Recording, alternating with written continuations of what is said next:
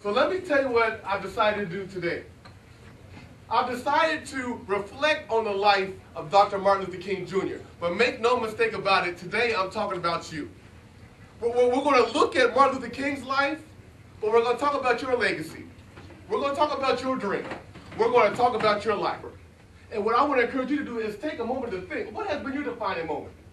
Wherever your confidence level might be, how did you get there?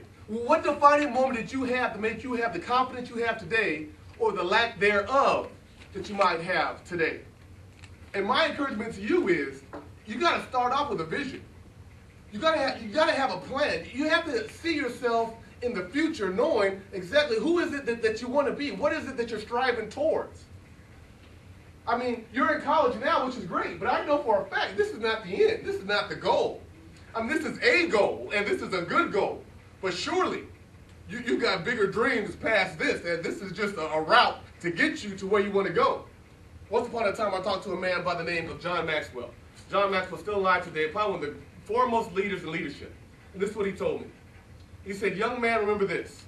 There's going to come a day when you're going to be 89 years old. And at 89 years old, you're going to be sitting on the porch of your own house, looking back over your life, and chances are you're going to have one of two feelings. One, either you're going to have a feeling of total satisfaction. Why satisfaction? Because you did it. You lived the life that you wanted to live. You, you traveled the world, you fell in love, you started that business, you wrote that book, whatever it is. At 89 years old, you're not even going to be afraid to die. You know why? Because you know you already lived. Or you'll be 89 years old, sitting on the porch of your own house, looking back over your life with regret. Why regret? Because you had one life to live, but never really lived it. You let fear, insecurity, whatever people said about you, just stop you from living the life you want to live. And now you're 89 years old, and you don't want to die. Why? Because you don't feel like you ever really lived. That's the same challenge I give to you all today. 89 years old, I hope, comes for everybody. But it's what you do today that's going to make a big impact on what life's going to look like tomorrow. Can you look at your own life with your own insecurities, with your own fears, and not have a pity party? And look at all your accomplishments and all your potential, but, but don't get too high on yourself. But see yourself as you really are. But more importantly, can you see yourself as you want to be?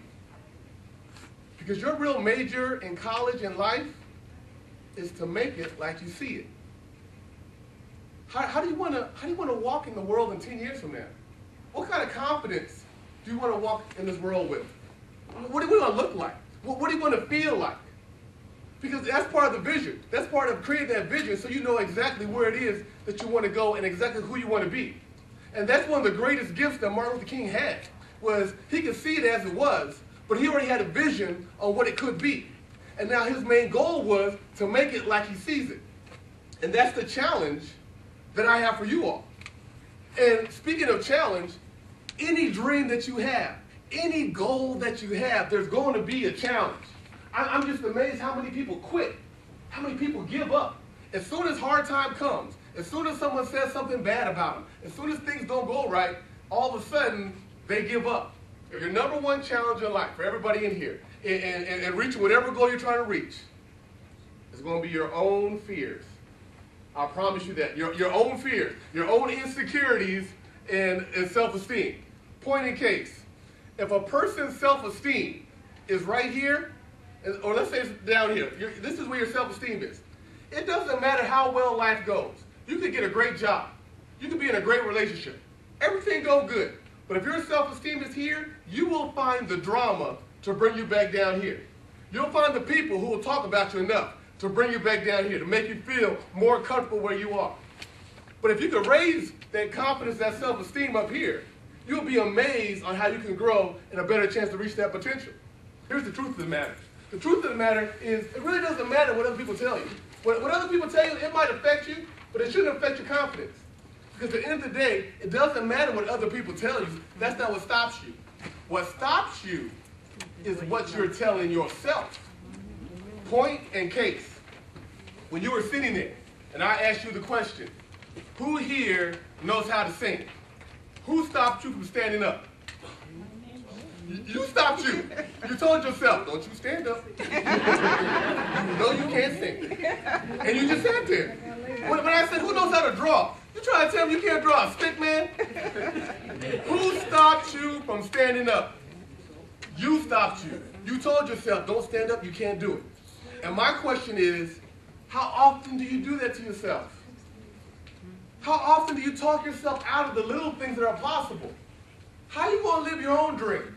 How are you going to live your own life if you're your biggest enemy that talk yourself out of what's possible? Remember 89 years old? What do you think 89 years old is going to look like at this rate? Regret. That's what it's going to look like. But if you could change your conversation with yourself, you can change your life. Change your language, change your life. I'm not saying you have to lie to yourself. I'm not, I'm not saying you have to tell yourself that you're the greatest in the world. But be honest with yourself. You may not be the greatest, but you can do it. And you can try. And you can get better. And you got great potential. But whatever it takes, never talk down on yourself. I'm 45 years old. I know this to be true. There's going to be enough people in your life telling you what you can't do. You don't need to join in on that conversation. Amen. You, you need to be your biggest advocate.